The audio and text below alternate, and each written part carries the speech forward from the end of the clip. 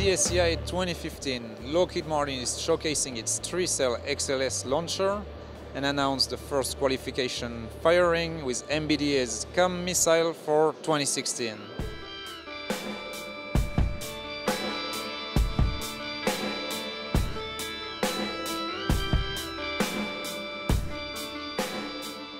So today we got two of our products.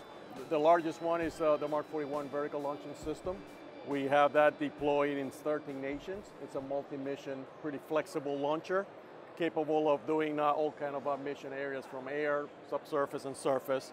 And uh, the one adjacent to it is what we call the extensible launching system. It comes into, uh, in two varieties. One of them, which you can see, is the, the standalone, designed for the smaller platforms. It's, it's uh, instead of being a, an eight meter launcher, it's more of a four meter, so it's very um, adaptable to smaller platforms. And then there's a host version of this that will take the same munitions and allow them to put them on the VLS so you can have a mixture of ammunitions on that launcher. The way we accomplish that is uh, the missile in this case happens to be the, the Common Anti-Air Modular Missile. It's a Sea Ceptor missile from the MBDA and uh, we're able to package four missiles in one of the missile cells. So that gives an, an, uh, an incredible firepower because this very small footprint gives you uh, 12 missiles, so large capacity. But this form factor is such that it allows you to install it on this standalone, but it also could go into the main battery launcher.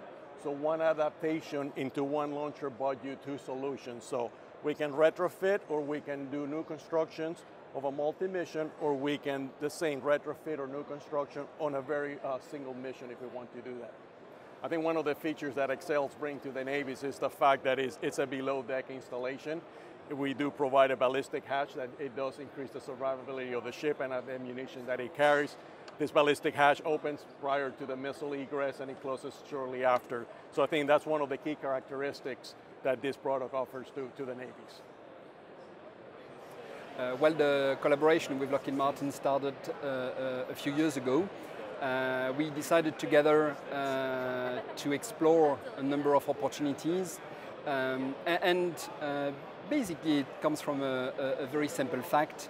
the, the Mark 41 launcher is, has been adopted by a number of navies worldwide. I think it's more than a thousand cells worldwide. Uh, and MBDA has uh, a very large number of uh, ship launch capabilities, uh, including anti-ship, land attack, air defense, of course.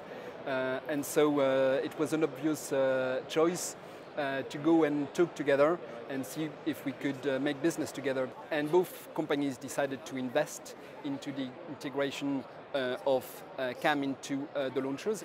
Uh, actually, uh, we have decided with Lockheed Martin jointly that the, the priority for us was to focus indeed on this new air defense missile system, Sea Ceptor, with the CAMM missile and the Mark 41.